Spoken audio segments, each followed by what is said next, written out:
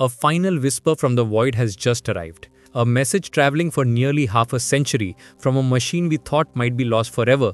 A beacon in the endless night, finally sharing its last secrets. This signal, weak but persistent, has crossed unimaginable distances to bring us news from the frontier of interstellar space. But what it just told us changes everything we thought we knew about the darkness between the stars, revealing a cosmos far more dynamic and alive than we ever imagined. From the cupola of the space station, our world hangs like a precious sapphire in an endless velvet night, a jewel seeming close enough to hold in your hand, a vibrant oasis of life in the vast cosmic desert. We built vessels to navigate our atmosphere and harness solar energy, crafting marvels of engineering that dance with the winds and sail on sunbeams. We engineered vehicles that could withstand the fury of re-entry, shielding fragile human cargo from the inferno of atmospheric braking. But the most incredible creation is the one that never returned. A pioneer that left home with no intention of coming back. A testament to our innate desire to reach beyond a grasp. It departed from a bright neighborhood before the digital age truly dawned, in an era of rotary phones and nascent computing, when the promise of technology was still unfolding. It launched before a global web connected humanity when communication meant letters and landlines, and the idea of instant worldwide connectivity was science fiction. It left before the majority of people on Earth today had taken a breath, making it a relic from a time that feels both familiar and distant. It no longer orbits the sun. It is navigating the interstellar deep, a patient traveler from another time, drifting through a sea of darkness where stars are mere pinpricks of light. And against all odds, it is still speaking its voice a faint echo in the silence, a reminder that our reach can extend far beyond our earthly confines. This is the saga of Voyager 2, a sibling to Voyager 1, born from a single, breathtakingly ambitious plan to touch the giants of our solar system and beyond. It is one of the last human-made voices calling back from a realm beyond the sun's protective embrace, a fragile thread connecting us to the infinite. In 1977, NASA capitalized on a celestial alignment that occurs once every 176 years, a rare planetary dance that offered a shortcut through the outer solar system. The giant outer planets had arranged themselves in a cosmic chain, a gravity assist route discovered with fundamental mathematics, a path that would not repeat for generations. This grand configuration was a gift from the universe, a chance to explore multiple worlds in a single mission. This path would allow a probe to use each planet's gravity as a catapult, slinging it to the next destination, harnessing the natural forces of the cosmos to propel it forward. Two spacecraft were constructed for this epic voyage, Voyager 1 and Voyager 2. Twins with separate fates, each equipped with identical tools but destined for unique journeys. They were equipped with sensors and imagers, instruments designed to capture the unknown and measure the invisible. And they carried a message, a golden disc bearing salutations in dozens of tongues, the sounds of our world, and music spanning human history a time capsule of Earth's culture and spirit. Voyager 1 took a quicker path to Jupiter and Saturn, racing ahead to unveil the secrets of these giant gas giants. Voyager 2 followed, and then pressed onward, becoming the sole human envoy to ever grace Uranus and Neptune, venturing into realms no human eye had ever seen. At Jupiter, the Voyagers unveiled a dynamic kingdom of storms and fervent moons, a system teeming with activity and mystery. Io was a canvas of volcanic paint, its surface constantly reshaped by eruptions that spewed sulfur into space. Europa's frozen shell suggested a hidden sea, a subsurface ocean that might harbor conditions for life, sparking decades of scientific curiosity. The Great Red Spot, a storm larger than Earth, swirled with ancient fury, while intricate cloud bands revealed the planet's turbulent weather. At Saturn, they transformed elegant rings into detailed maps, revealing patterns and divisions sculpted by unseen moons uncovering gaps and braids that spoke of gravitational dances. The ring shimmered with icy particles, each one a testament to the planet's complex history. Then as Voyager 1 turned its lens back to capture Earth as a pale blue dot, a humbling glimpse of a tiny place in the cosmos, its twin continued its lonely journey into the unknown, pushing deeper into the cold and dark. Uranus greeted Voyager 2 with a perplexing mystery, a world that defied simple explanation. The world spins nearly on its side, a 98 degree tilt that creates extreme seasonal chaos, where the sun shines directly on poles for decades. This odd orientation suggests a violent past, perhaps a colossal impact that knocked the planet askew.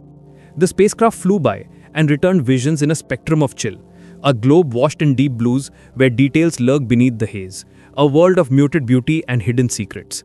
It discovered two new rings and 11 new moons, expanding our understanding of this distant system.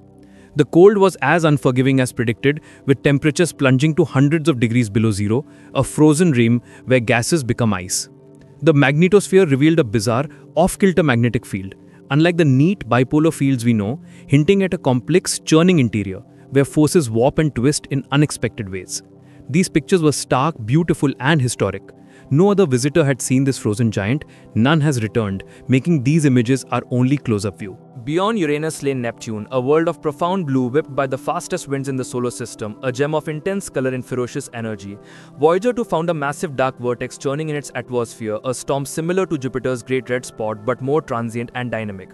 It observed icy clouds high in the atmosphere, composed of methane crystals that catch the faint sunlight.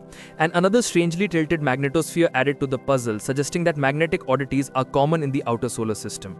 And then it saw Triton, a moon that defied expectations by spewing nitrogen geysers across its frozen surface, hinting at a possible subsurface ocean warmed by tidal forces. This active world with its pinkish terrain and dark streaks became an instant focus for astrobiologists. The data it sent back still fueled scientific discovery today, with researchers analyzing old readings to uncover new insights. You could have called the mission complete, a resounding success, but the Voyagers were designed with a stubborn will to persist, built to endure long after their primary goals were met.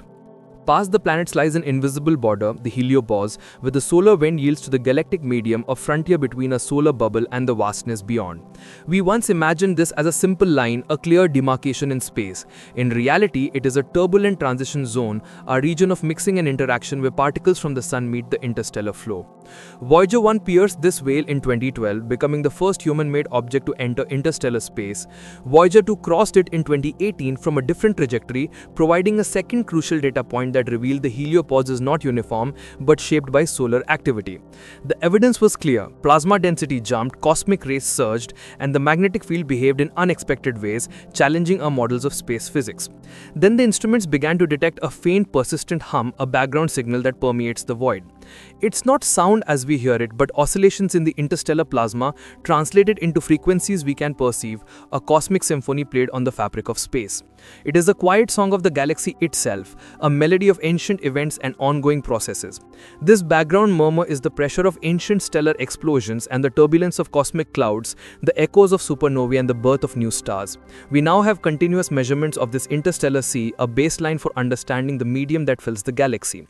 The space between stars is not a vacuum, it is a medium with its own weather, a dynamic environment that influences the journey of cosmic rays and the formation of stars.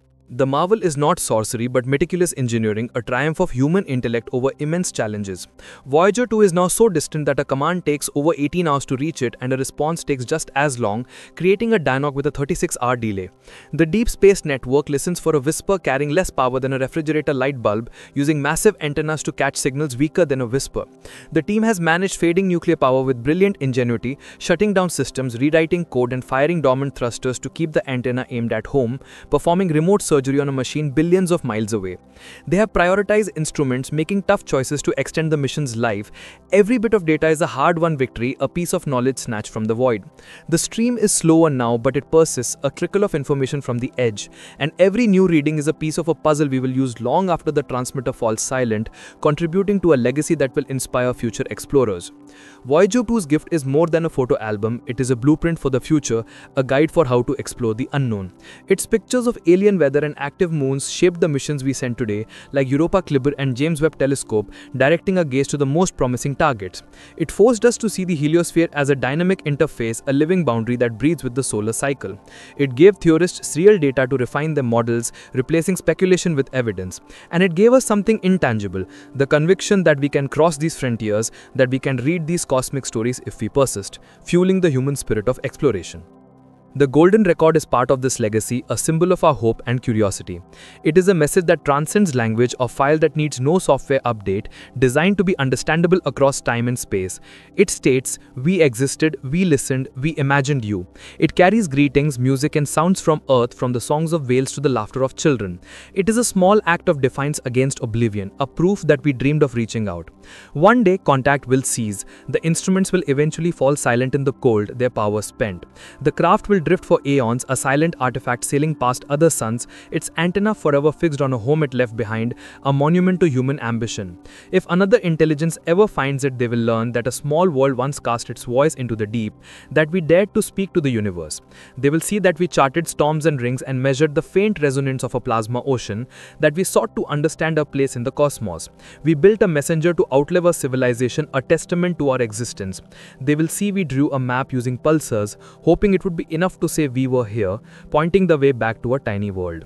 But we don't need that future listener to justify the journey. Voyager 2 has already accomplished its greatest task. It expanded the horizons of our knowledge, showing us worlds beyond imagination. It made distant worlds tangible, turning points of light into places with history and character. It crossed a theoretical boundary and revealed it to be a region of complex space weather, reshaping our understanding of the solar system's edge.